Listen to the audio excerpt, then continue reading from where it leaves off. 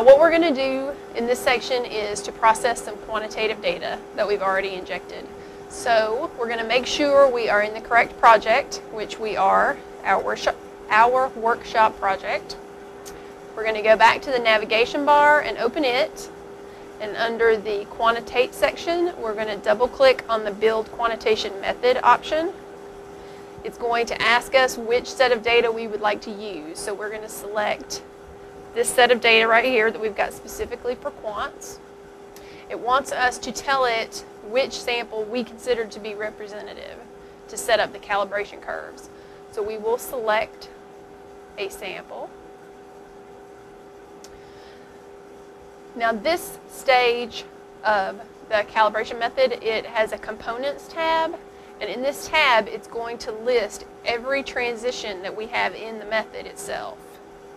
So the first thing we're going to do is we're going to tell it what our internal standard is, which in this case is mepivacaine.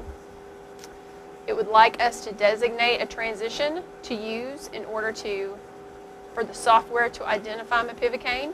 So we're going to select that one, which is 247 to 98. Then under the analyte section, we have to delete all of these specific transitions and change it to our method. Let me see if I can do it. And each one of these have to be individually deleted. If they're not, it gives you an error and you can't go forward to set up your database. So this takes just a second because you have to hand delete all of these. I think there's 130 transitions in here, so it does take just a second or two. And once we've got the analyte name column adjusted, we also have to do that for this transition column. All the way back up.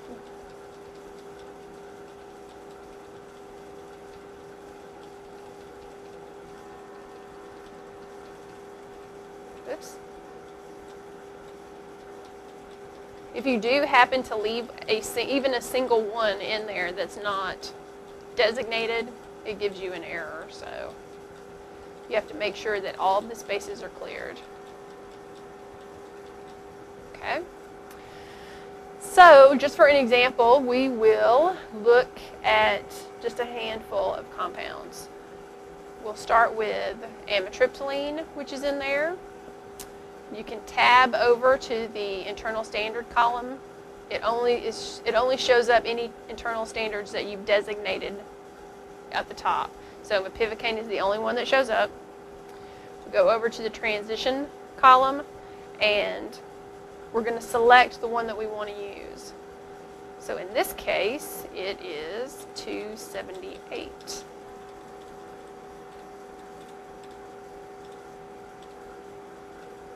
To 105. Now, if you don't remember off the top of your head your transitions, you can make yourself a little cheat sheet to keep by the instrument, which we've got here, that we're going to use in case we need it. So another one that we've got in here is oxycodone, and its transition is 316 to 241, and methadone, its transition is 310 to 265. So those three are a good place to start. So once you've added in all of the analytes that are particular to your set of calibrators, you go to the integration tab. It may take it just a second. It's going to give you a list in this drop-down menu for analytes of all the compounds that you've put into this database. For us, there's only three. Um, it's going to show you the extracted ion chromatogram for amitriptyline because it's designated under the analyte section. On the right, it's going to show you the extracted ion chromatogram for mepivacaine. And in this tab, you have several different options that you can choose.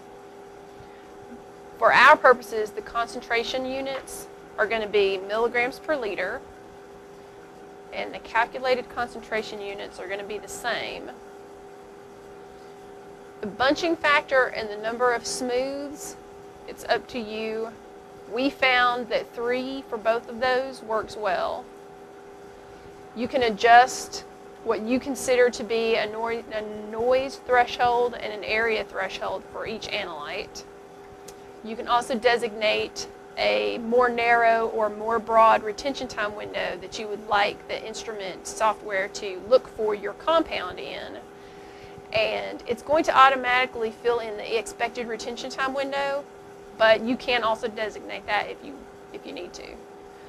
Most of the time when you make a change up here, you need to go ahead and apply it so that it accepts it and alters the extracted ion chromatograms here. Now, for the, these different extracted ion chromatograms, previous ones that we looked at, previous panes, when they're highlighted, it shows you a blue outline of the box. You don't get that same function here. It, it instead um, bolds the name and the chart. So we've altered that for amitriptyline, but we haven't done it for mepivacaine. So we need to do that. So when you select that pane, you also need to change the same things that you changed previously and apply them. Now there is a way to change the defaults to do this for you automatically.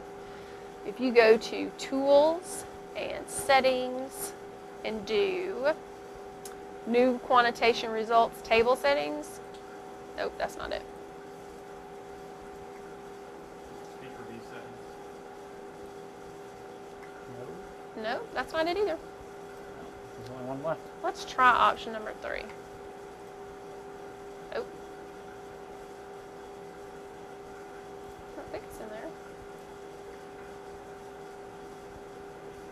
Oh, there it is. Quant method editor settings. Okay. It's always in the last place you look. So we can change our default concentration units to whatever it is that we feel like we're going to use the most frequently, including, um, we can also change the retention time window, the smooths, and the bunching factors, which we will go ahead and do. Now since we did that after we had already started to build this method, it's not going to help us now, but in the future, that's where you can change it. So to do the exact same thing to the rest of the analytes, oh, it did save it. Take it back. One of the problems that you will find with some of the earlier eluters is that it doesn't do a very good job of integrating the complete peak because the peak shape is not as, as um, nice as some of the late eluters. So what you can do is change your bunching and smoothing factors to give yourself an appropriate fit. Oops. Well, it helps when you have it selected on the correct compound, now doesn't it? Okay. Select the compound you want to change. No wonder it didn't keep it. There we go. Oops. Okay, let's see. Which one is the magic number for oxycodone? Okay. So we've got nice integration here for our early eluter. We've changed all of the other parameters that we need to change at the top. So we're going to go to the next one, which is methadone. We'll go ahead and change bunching and the smoothing just to be consistent. And we'll change our units. Did you apply the oxycodone one? Gosh, I hope I did. Yep. But if I didn't, I would have been in trouble. They would have been gone if you hadn't applied it. I think so. Okay, now that we're done with the integration tab, we're going to click on the very last one, which is the calibration tab. And this is where you can designate the default fit that you would like to use. It gives you the option of doing linear, linear through zero, quadratic, and some other things. For our purposes, we leave it at linear as the default, and occasionally if we need to change it to something else, we do it for individual um, analytes. We don't normally select any weighting, but you do have that option. There are several functions under the weighting that you can use. For the regression parameters, we use an area regression. Now that is all of our tabs to set up our quantitation method, so we need to make sure that we save it. So we go to File and Save As. We will label this quant, today's date, save it. Now that we've built the method, we're going to use the function called the quantitation wizard, which is going to set us up a result table for all of our analytes in our run based on the data that we just put into the method. So we're going to double click the quantitation wizard. It wants us to select the specific files we'd like to use. So there's our quant files. You have the function to add all of them or only part of them.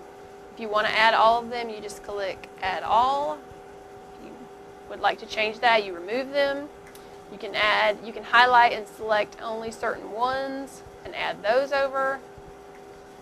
It's very user-friendly in that area. So, what we would like to do is add everything. For the purposes of this, we're going to add everything. I'm going to go to the next pane. We're going to go ahead and use the default settings for the results table. You can change those. You can change the actual default settings if you'd like in another area. Um, you can also set up a what's called a query, and you can use a default query to apply it to this set of data. We don't normally do that. We'll show you in just a second how to do queries in general. The next page. Now, from this page, you can tell what your integration algorithm is. Analyst offers two different types. One's called Analyst Classic, and the other is called IntelliQuan. Normally, we use the Analyst Classic. We found that that works well for just about everything that we do. Now we're going to choose an existing method that we've already built to apply to this set of data, which is the one we just did, which is the quant 071807. And we're done. So it has taken that method that we built and applied it to all 16 samples. So let me get rid of this bar for a second, navigation bar. Spread this out. You have a variety of columns of information that will come up when you start to do quantitations. And, and there's a lot of them. You can choose this, make it more or less specific. You can have a wide variety of columns in here. So what we'll do is we will change the table settings. Some of these things we don't necessarily need in there and we'll say edit. We'll click on columns, say edit. Under sample, you can see you've got a, a, large variety of things that you can include. If you want it to show you in the results table, the acquisition method, you can select that. Um, the sample comment is where we normally will put the descriptor of what each injection is and contains. So that is important. The sample type is important because you want to be able to designate a standard from an unknown. So we want to keep that showing. The name, if you're interested in that, the ID. And in this menu, you can see there are several other sections that you can look at. Analyte specific, you can have it um, introduce a column for the analyte peak name. We're not really interested in the peak height. We are interested in the concentration.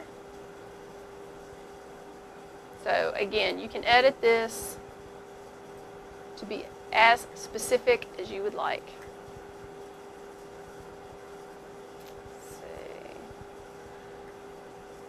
Now the use record column will let you know when things have been included in your standard curve. So we like to include that one in there.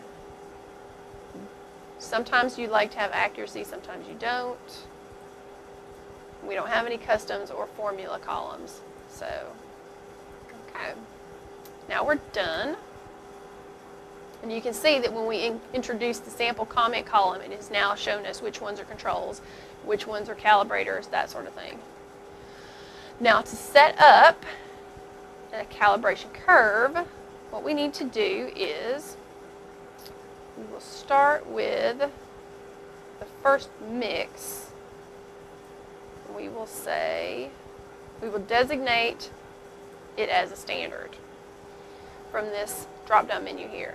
Now once you do this, for one, in this case, we only have three different analytes. So number two, sample number two, has three lines, one for each analyte, amitriptyline, oxycodone, and methadone.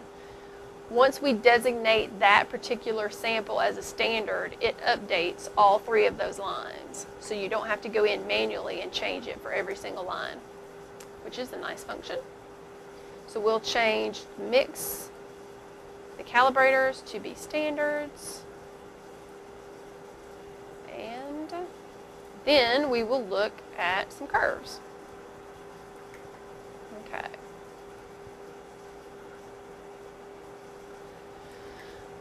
So now, one of the things I like to do when I'm building my standard curves is to go ahead and check the integrations of the analytes before I go too far.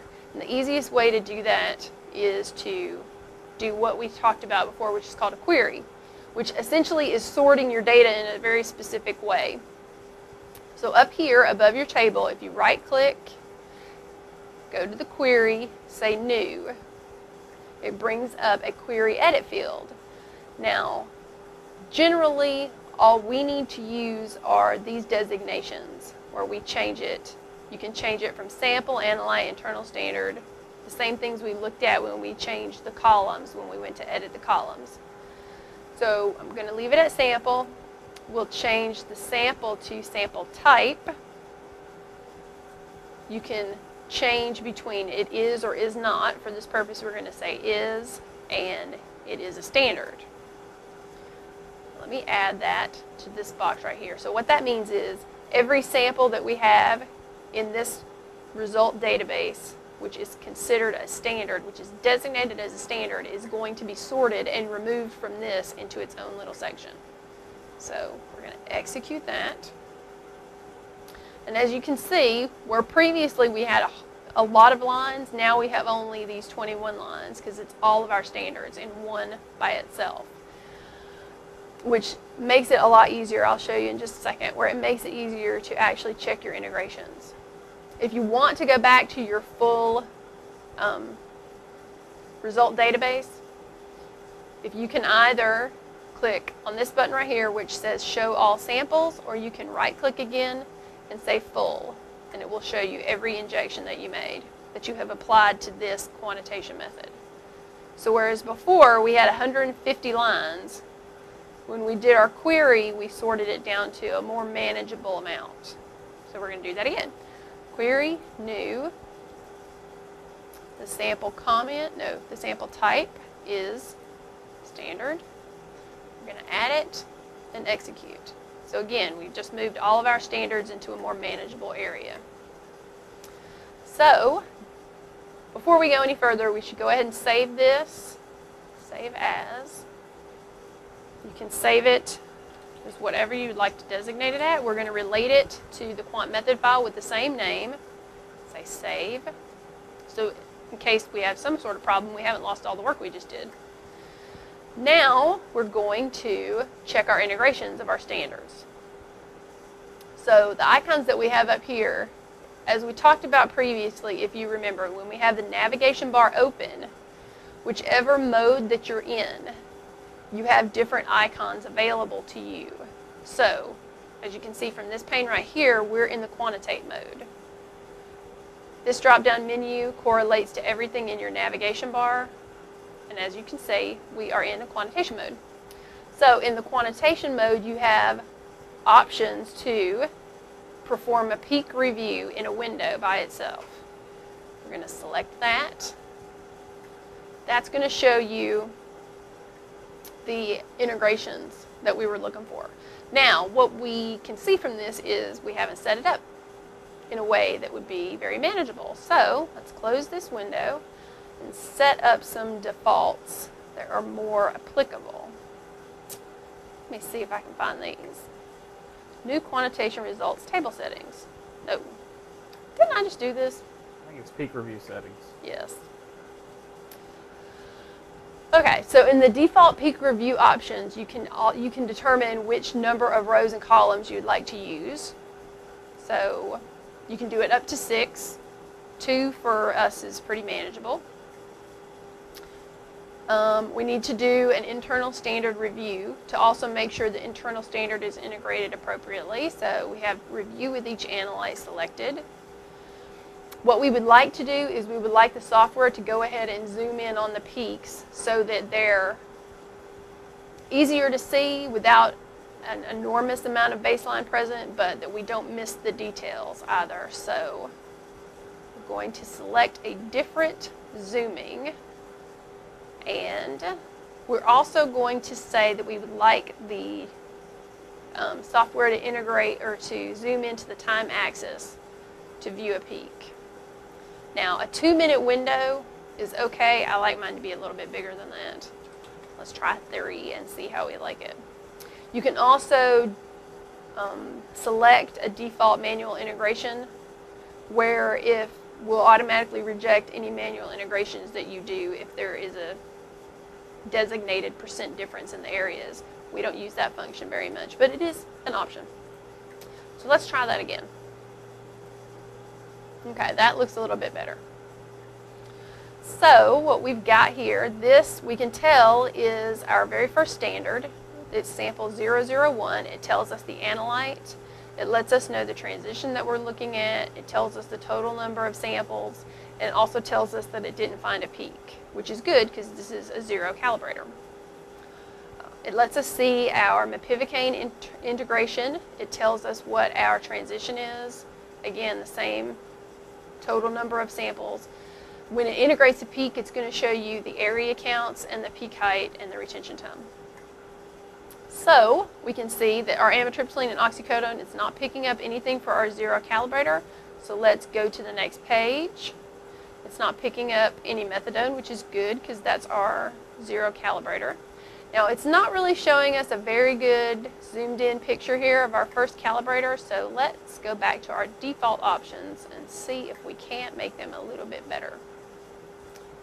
Peak review settings. Let's try that function and see, the 100% of largest peak. See how we like that. Oh, much better. Okay, so if we go back to the very first analyte in the zero calibrator, you can see that it will show you just a little bit of the background. You can tell the intensity is not very much. There are no specific peaks here. It's all just some background noise. We go to the next page. You start to see it is actually integrating the compounds in our second sample, sample 2 of 50, which is our very first calibrator and we just flip through the pages to make sure that all of our compounds are integrated appropriately. Now you can see the oxycodone peak, as we saw before, it's not as uh, smooth as the later eluters, but we've tried to accommodate that by making the bunching and the smoothing factors appropriate. So it appears as if everything integrated well. So we're going to close this review window. What you can also use is this peak review pane, which is going to open up a pane with all of the same information we just saw, but you can also see your result database at the same time. Let's remove that pane. Now, for calibrators, we need to check our calibration curve. We've got two icons to check for that. We've got the calibration in a separate window, or we can do the calibration in an, a pane that shows up so you can also see your result database. So let's look at it as a, in a window, because you can see, oops. Well, it helps when you tell it what your concentrations are. So, for our compounds, we need to tell it specifically what the concentrations are. So for the first three, it's going to be zero. Now, it will not, when we did the batch, um, building the acquisition batches, it had a nice function where you could select panes and do a fill down. You don't have that option here. You have to manually enter the concentrations for each one of your analytes.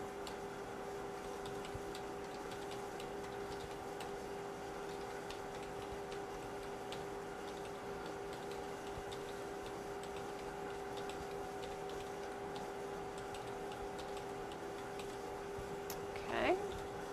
All right. So now let's go back at that curve and see how it looks. Okay, so in this pane, what you can see is we've got our specific analytes with, that we can interchange with the ones that are available. In this case, it's amitriptyline. If we go to the drop down, we can change it to oxycodone or methadone. We can see that it's an area regression. We can change that to height if we want to. We can change the regression itself by making it quadratic or forcing it through zero and some other available functions. We can change the weighting from this page too. When you do when you do go to change the regression, you it gives you an option between reverting to the previous one or accepting the new changes. We didn't make any changes, we just tabbed through it, so we'll just say revert. You can see that it's got our result database file name, which is the RDB file extension. It tells us specifically which compound we're looking at, the type of regression, and no weighting. It also gives us the curve of the line and the R, the R value for that curve. Now this software will not give you an R squared value, it only gives you the R value, so we had to make some adaptations because of that. But you can see that this curve is not too bad. If we had points we wanted to omit, we, without going back to the result database, we could select that point and right click and it gives us some options about excluding that point from the curve. We can exclude that single point from this one curve or we can exclude it from all the curves. When you exclude, it still shows the point's position but it's no longer highlighted so it's not involved in the calculation of the curve of the line you can then, if you've changed your mind and you decide it's not that bad, you want to include it, you include it again. You have some other um, functions that you can perform on each individual peak that exclude and include are the most common ones. Let's check our other curves. Oxycodone looks nice and the methadone looks nice too. So all of our curves appear to be successful. Now what we need to do is we need to evaluate the positive controls, but they are not in this pane because we have performed a query and sorted our data. So we need to go back to the full screen of all of our samples. So we're going to select that function. And as you can see, it's brought us back to all of our lines of data. Since, again, this is a big result database file and we want it to be a little more manageable, we can do another query to sort it for the controls. We will say, we'll leave it at sample type. We will, or the field group will leave it sample. We'll change it to sample comment. And you have an extra selection now and you can use the contains. So we will say that the sample comment contains the word control. We'll execute that. So what it's done is anything in our result database where the sample comment has the word control in it has been sorted into a new query. So all of our controls are now sorted just like our standards were sorted a few minutes ago. So for this set of data, we want to do something similar, which is check our integrations and make sure that they look appropriate. So we're going to go to our peak review window again. And we're going to tab through each pane of data to make sure that everything is integrating appropriately.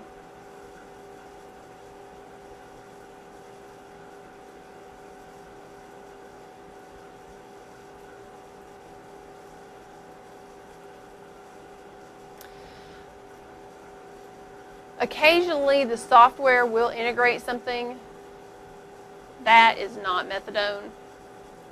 Not sure what that is, but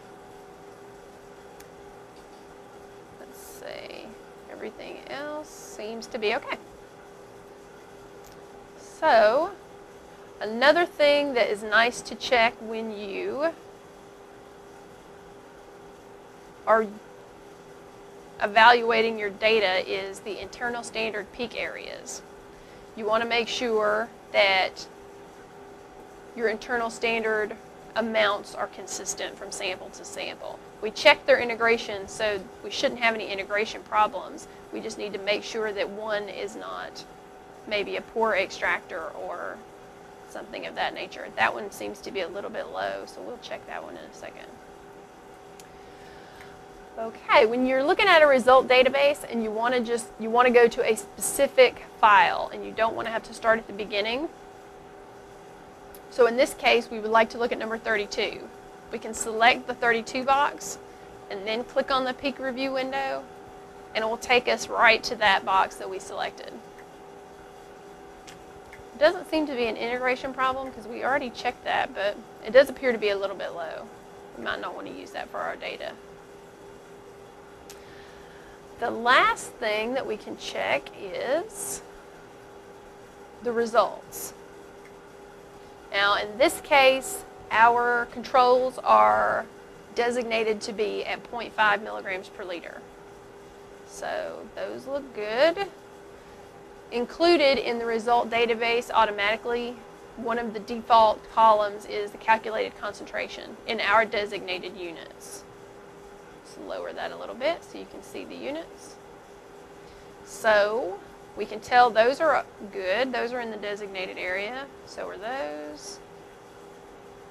So are those. I think that is our small peak that was integrating something besides methadone, which is why it's giving us a result there.